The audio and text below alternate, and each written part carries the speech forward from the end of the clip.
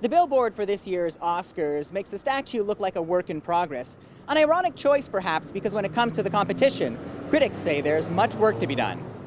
Among the 20 acting nominations is just one person of color. You can't hide your emotions. And after the success of films such as The Farewell, These are my coworkers. Jobs, please. Hustlers, No one makes their own way, least of all a woman. and Little Women, all the five Best Director nominees are male. Well, as a woman, as a Latina, Yeah. you know, I'm disappointed. Um, obviously, and I would like to see Jennifer Lopez in there as well. For you know, she was just as good as any of the other supporting actor nominees. Since Oscars So White started trending in 2015, the Academy has taken action.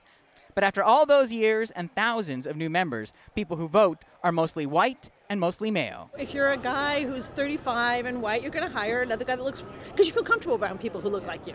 That has your attention, doesn't it? And even for those new members, there are challenges. I'm in the academy. It's very hard to vote. There's a uh, and it's expensive to be in the academy. It's not a free thing to do.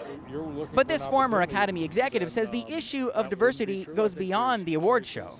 The problem, if your issue is diversity, the issue is the movies aren't diverse enough, not the Academy is. Right. As far as the show goes, the Oscars is trying to compensate by inviting presenters that are certainly more diverse and female than the nominees. And while they won't be taking home any trophies, the audience has already voted with its dollars, making movies that reflect the changing face of America box office winners.